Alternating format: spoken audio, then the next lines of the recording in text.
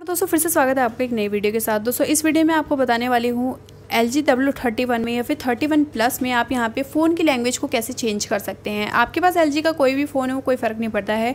Language change करने के लिए आपको चले जाना है सेटिंग पे।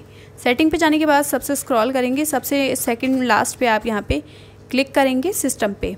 सिस्टम पे जाने के बाद सबसे ऊपर आपको लैंग्वेज का ऑप्शन देखने को मिल जाएगा। आप इस पर क्लिक करेंगे और इसके बाद सबसे ऊपर वाले ऑप्शन पे क्लिक कर देंगे लैंग्वेज पे। और यहाँ पे आप प्लस के निशान पे जाएँगे और जो भी आपकी लैंग्वेज आपको ऐड करनी है तो स्क्रॉल करके देख लेंगे कौन सी आपकी लैंग्वेज है और उसे आप यहाँ पर सेलेक्ट कर लेंगे। अगर आपको नहीं मिल रहा तो सर्च भी कर सकते हैं यहाँ से। ये आपका इस टाइप से आ जाएगा। अब आपको क्या करना है? जिस लैंग्वेज में आपका फ़ोन करना है, इस टाइप से आप इसको खींच के बड़ा कर देंगे। मतलब ऊपर लेके आ जाएँगे सबसे। जो लैंग्वेज आपकी सबसे ऊपर रहेगी, उसी फ़ोन में, उसी लैंग्वेज में आपका फ़ोन जो है चेंज हो जाएगा। आप देख सकते हैं चेंज हो गया है हिंदी में।